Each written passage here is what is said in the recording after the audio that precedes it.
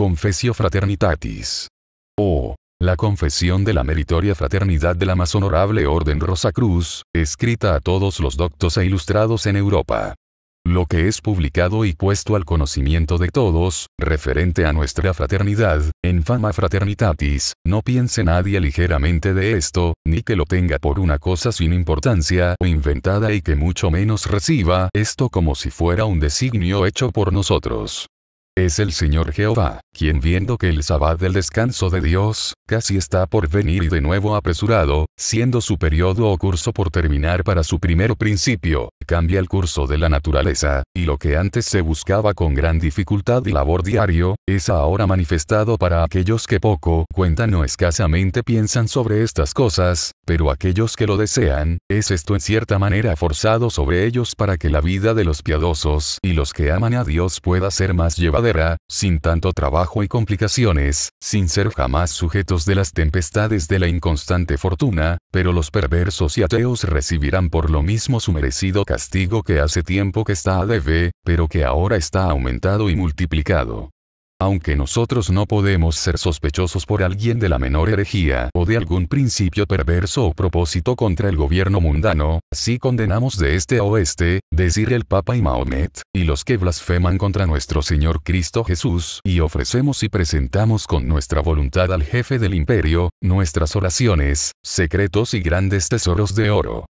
pero además hemos pensado como bueno, como cómodo, para los doctos e ilustrados de agregar algo más que esto para hacer una mejor explicación si hay algo demasiado profundo, oculto oscuro en fama fraternitatis, o por ciertas razones del todo omitido, o no mencionado, esperando con esto que los doctos e ilustrados van a ser más adictos a nosotros y estar todavía más dispuestos a tener una buena voluntad así a nuestro propósito. Relativo a la alteración y el mantenimiento de la filosofía, tenemos tanto como es necesario para el presente, hemos declarado suficientemente, que la filosofía de ahora es enteramente vaga y errónea, y aunque no dudamos que la mayoría alegan que es correcta y fuerte está en su último suspiro, se está desvaneciendo.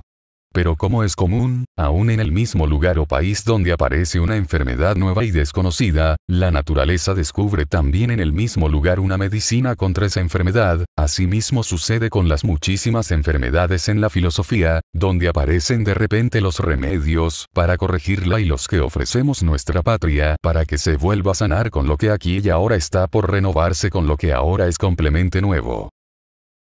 No tenemos otra filosofía que la que es la cabeza y la suma, las bases y el contenido de todas las facultades, creencias y artes los cuales si observamos bien esta edad en que vivimos, contiene mucho de teología y medicina, pero poco de sabiduría y busca con gran trabajo tanto el cielo como la tierra, o para hablar brevemente sobre esto y aquello que se manifiesta suficientemente. Por lo mismo todos los doctos e ilustrados que ellos mismos se hacen conocer de nosotros y llegan a entrar dentro de nuestra hermandad, encontrarán maravillas por medio de nosotros, cosas que nunca antes habían obtenido o sabían o que son capaces de creer. Por eso, para brevemente declarar nuestra idea de esto, tenemos que obrar con mucho cuidado, para que no exista una cuestión en nuestra reunión, pero para que de la misma manera todos puedan saber aquellos misterios y secretos. Creemos sin embargo que es correcto que el conocimiento de esto sea revelado para muchos.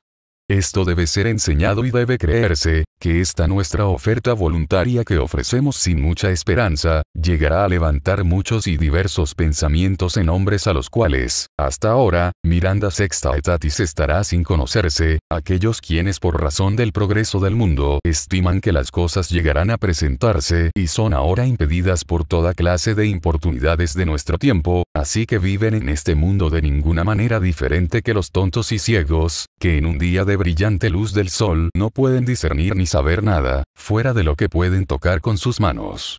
Ahora considerando la primera parte, aseguramos esto, que las meditaciones, conocimientos e inventos de nuestro amante Padre Cristiano Cristian Rosa Cruz de todo eso que desde el principio del mundo, la sabiduría del hombre a través de la revelación de Dios, o por medio del servicio de los ángeles y espíritus, o profundo entendimiento, por larga observación ha encontrado, inventado, sacado adelante, corregido y hasta ahora propagado y trasplantado, son tan excelentes, valiosos y grandes que si todos los libros perecieran y por medio de la voluntad de Dios, todos los escritos y conocimientos fueran perdidos, todavía sería la posteridad capaz de con solo esto poner un nuevo fundamento y traer la verdad a la luz otra vez, cosa que posiblemente no sería tan difícil de hacer, si uno empezara a tirar y destruir el viejo y arruinado edificio para después agrandar el patio anterior, traer luz a las habitaciones, para luego cambiar las puertas, escalera y otras cosas, según intención. ¿Para quién no sería esto aceptable? Para mostrarlo a todos, en lugar de tenerlo soportado en vigas de madera para que no se caiga, teniéndolo como un monumento, esperando el tiempo venidero por llegar. Porque no debemos con todos nuestros corazones descansar y mantenernos a la única verdad, que todos los hombres por medio de tantos torcidos y errados modos buscan, si le place a Dios encender para nosotros el sexto candelabrium,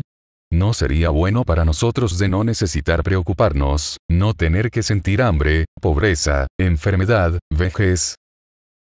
¿No sería una cosa preciosa que pudieras leer en un solo libro y con leerlo comprender y recordar todo lo que todos los otros libros, que hasta ahora han existido y los que ahora y después saldrán, han sido y son para aprender sus contenidos? ¿No sería una cosa muy preciosa, que pudieras siempre vivir en una manera como si hubieras vivido desde el principio del mundo, y además todavía vivieras hasta el fin del mundo?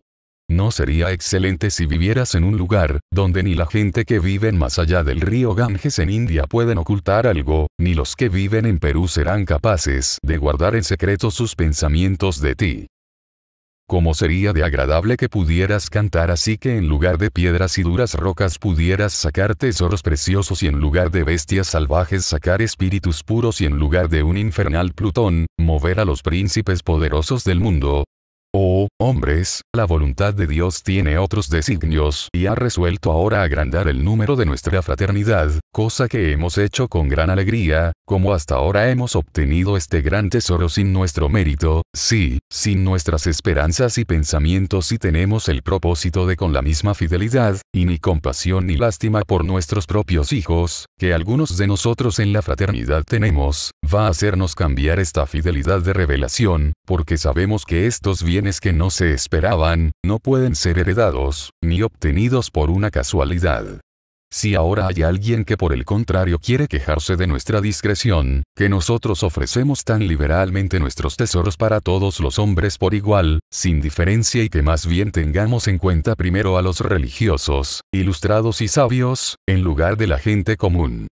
Viendo que esto no es una cosa muy fácil, pero decimos así tanto, que nuestra arcana o secretos no van de ninguna manera a ser para todos o generalmente conocidos. Aunque Fama Fraternitatis es hecha en cinco idiomas y hecha pública para todos, sabemos sin embargo muy bien que los no educados y la gente en general no la recibirán bien ni van a ponerle cuidado, como también no sabemos cuántos van a ser aceptados en nuestra fraternidad, qué méritos tendrán no está estimado ni conocido por nosotros. Todo esto se resolverá por las reglas establecidas de nuestra fraternidad y por revelación y manifestación. Por lo mismo, si los sin mérito lloran y claman miles de veces, o si ellos se ofrecen y se presentan ellos mismos miles de veces, Dios ha dado orden a nuestros oídos para que no oigan a ninguno de ellos, si Dios nos ha envuelto así con sus nubes, para que a nosotros sus servidores ninguna violencia o fuerza pueda cometerse, porque no podemos ser vistos o conocidos por nadie, excepto que él tenga ojos de águila.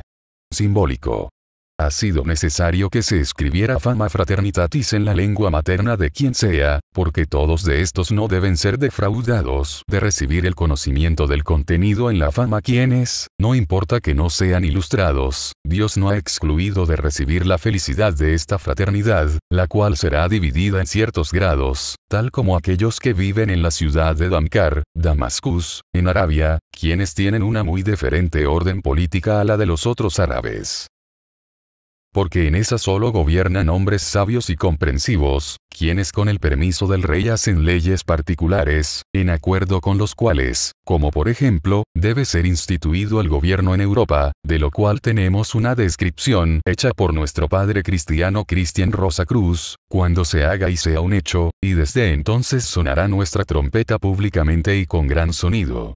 Esto está presentemente mostrado y es secretamente declarado como una cosa por venir en figuras y pinturas y va a ser después libre y públicamente proclamado y todo el mundo va a ser lleno de todo esto. Aún muchos hombres creyentes, secretamente y enteramente muy desesperados han atacado la tiranía del Papa, quien más tarde con un gran y honorable esfuerzo fue echado de su trono y pisado debajo de los pies en Alemania, en el año 1515 en adelante y en Inglaterra en el mismo siglo, y el norte de Europa. Su caída final es retardada y dejado para nuestros tiempos venideros, cuando será arañado y vuelto pedazos con uñas, simbólico, y un fin de su rebuzno de asno vendrá con una voz de león rugiendo. Lo que sabemos se ha manifestado ya razonablemente y es conocido por muchos hombres ilustrados en Alemania y en el norte, y secretas gratulaciones atestiguan esto suficientemente. Nosotros podríamos aquí declarar lo que ha pasado durante todo el tiempo, desde el año de nuestro Señor 1378, el año cuando nació nuestro padre cristiano Cristian Rosa Cruz, hasta ahora, cuando es posible repasar qué alteraciones ha visto él en el mundo durante esos 106 años de su vida, de lo que él nos dejó para usar después de dejar su cuerpo físico pero por causa de la brevedad que tenemos que observar, no permite por lo presente repasar todo esto, hasta un tiempo más adecuado. Por el momento es suficiente para los que no rechazan nuestra declaración, habiendo en breve tocado esto para preparar el camino para que nos conozcan y tengan amistad con nosotros. Para los falsos hipócritas y aquellos que buscan otras cosas que sabiduría, decimos y atestiguamos públicamente con esto, que nosotros no podemos ser conocidos o ser traicionados, cuando solo tienen por fin el de conocernos, y mucho menos serán ellos capaces de hacernos daño sea en cualquier forma, sin la voluntad de Dios, pero tomarán parte de todos los castigos mencionados en nuestra fama fraternitatis, para que sus hechos perversos caigan sobre ellos mismos y nuestros tesoros seguirán intocables e inmóviles, hasta que el león llega y quien va a pedirlos para su uso y emplearlos para la confirmación y establecimiento de su reino.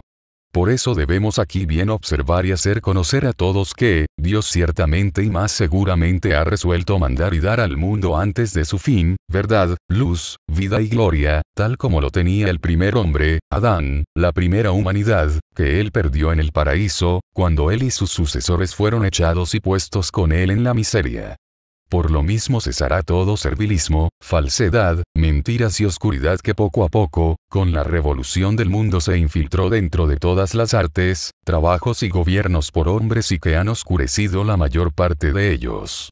porque desde entonces se han aparecido unas innumerables clases de maneras de introducir falsas opiniones y herejías que los más sabios de todos escasamente eran capaces de saber cuál doctrina y opinión debían seguir y abrazar y no podían fácilmente discernir, viendo que por una parte estaban obstaculizados, detenidos y llevados a entrar en errores, por el respeto a los filósofos y por los hombres doctos, más por otra parte por medio de sus verdaderas y propias experiencias. Cuando todo esto, una vez anulado y removido y en su lugar, es instituida una regla correcta y verdadera, entonces no quedará sino las gracias para los que se tomaron los esfuerzos de hacerlo, pero sin embargo será el trabajo mismo atribuido a las bendiciones de nuestros tiempos. Ahora confesamos libre y voluntariamente que muchos hombres importantes por medio de sus escritos harán un gran adelanto en esta reforma que está por venir y así no deseamos tener este honor que se nos ha dado, como si hubiéramos hecho nosotros este trabajo. Pero eso sí, confesamos y atestiguamos libre y abiertamente con el Señor Cristo Jesús, que primero pasará que las piedras se levanten a ofrecer sus servicios, antes de que faltaran ejecutores de la voluntad de Dios, si Dios nuestro Señor ha enviado ya ciertos mensajeros que van a dar testimonio de su voluntad, unas estrellas nuevas en Serpentario y Kigni, cisne estrellas que aparecieron en 1604, año del descubrimiento de la tumba de Cristian Rosa Cruz, que dan señales y se hacen conocer a todos, siendo signácula poderosas de cosas importantes de mucho peso. Así, los secretamente ocultos escritos y caracteres, figuras, son sumamente necesarios, para todas estas cosas que pueden ser descubiertas por hombres. Aunque el gran libro de la naturaleza está abierto para todos los hombres, sin embargo solamente unos pocos pueden comprenderlo. Porque al hombre se le ha dado dos instrumentos para oír, dos para ver y dos para olfatear, pero solo uno para hablar y sería esperar en vano, hablar con los oídos y oír con los ojos.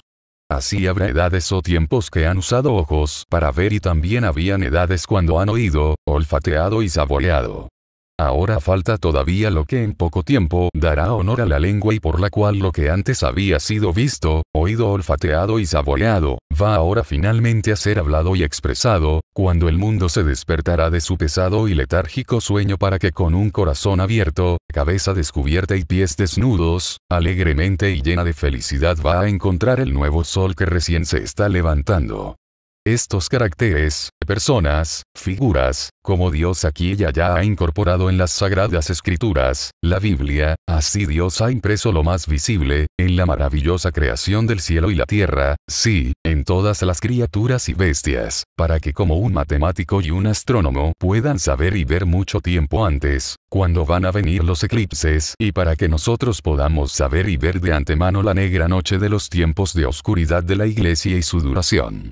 De los caracteres y letras antes mencionados, hemos prestado nuestro mágico escrito y hemos descubierto y hecho un nuevo lenguaje para nosotros mismos, es el cual es expresado y declarado la naturaleza de todas las cosas, así es que no somos tan elocuentes en otros lenguajes, los cuales sabemos que no están de acuerdo con el lenguaje de nuestros antepasados Adán y Enoch, cuyo lenguaje fue completamente ocultado en la confusión babilónica. Debemos también dejarles saber que algunas plumas de águila están en nuestro camino, las cuales obstaculizan nuestro camino. Nota del traductor. El águila del escudo del emperador de la casa de Habsburg, quien empezó la guerra de los 30 años para acabar con los reinados protestantes en el norte de Alemania. Las plumas son los empleados y vasallos católicos del mismo emperador y la Inquisición católica. Por lo cual rogamos a todos de leer con diligencia y continuamente la Sagrada Biblia, porque el que siente placer en hacer esto, debe saber que se está preparando para sí mismo un excelente camino para llegar a nuestra fraternidad, porque como esto es la entera suma y contenido de nuestras reglas, que cada letra o carácter que en el mundo ha de ser aprendido y memorizado, así aquellos que se parecen a nosotros y que son cercanos aliados con nosotros y hacen de la Sagrada Biblia una parte de su vida y la finalidad de todos sus estudios, y no solamente tener los escritos de la Santa Biblia en la boca continuamente sino que hay que saber aplicar la real comprensión de este sagrado libro, para todas las edades y tiempos de este mundo. No es nuestra costumbre de prostituir y hacer las sagradas escrituras comunes, porque existen innumerables personas que exponen las mismas, algunos alegando y torciéndolas para servir su propia opinión, algunos para escandalizarlas y perversamente comparar la Biblia con una nariz de cera que sirve igualmente para religiosos, filósofos, médicos y matemáticos, contra todo lo que nosotros abiertamente testificamos y hacemos conocer, que desde el principio del mundo no se ha dado el hombre un libro más valioso, excelente, admirable y beneficioso que la Sagrada Biblia. Bendito será el que la tiene y más bendito es el que la comprende, porque él es el que más se parece a Dios y llegará más cerca de él. Todo lo que se ha dicho en fama concerniente a falsos alquímicos y a la transmutación en metales básicos y los que logran verdaderamente obtener este arte y la más alta medicina en el mundo, pueden estos hombres ser una amenaza terrible para la humanidad. Debe ser entendido que esto, siendo un gran regalo de Dios, que nosotros ni negamos ni rechazamos y puede obtenerse por un hombre. Esto no trae siempre consigo el conocimiento de la naturaleza, pero sí trae consigo, no solo la medicina, sino hace manifestar y abrir para nosotros innumerables secretos y maravillas. Por eso es un requisito que nosotros seamos serios y honestos, para tenernos a la comprensión y conocimiento de la filosofía y más que esto, no tener tendencias de ser atraídos a las tinturas de metales antes de haberse ejercitado en conocer la naturaleza.